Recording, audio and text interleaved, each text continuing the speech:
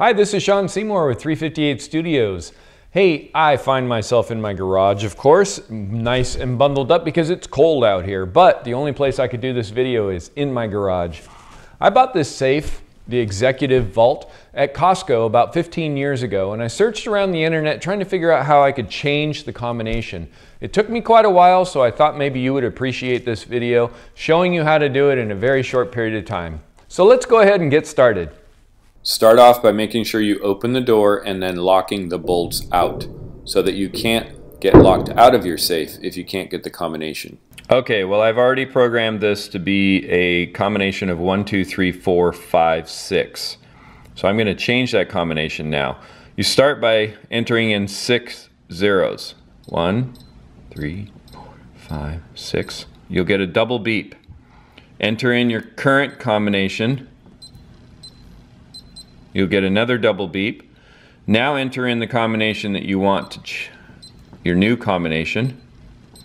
You'll get a double beep again. Go ahead and enter it in one more time. Six, four, three, two, one. You'll hear a double beep. If you hear three beeps, it means that it did not take the new combination and your old combination is still valid and you have to do this process over again. Now I'm going to go ahead and open the door with my new combination.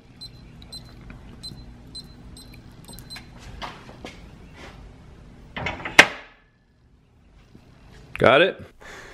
Hey, I hope you found this video helpful and those steps easy to follow. If you like this video, please click on the like button. And if you would like to subscribe to our channel, you can click on the subscribe. If you have ideas or suggestions about what we might cover in our next video, please put that in the comments below.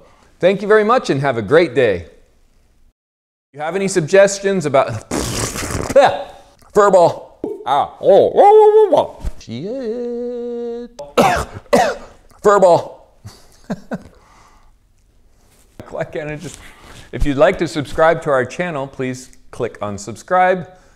Please click on subscribe. Yeah.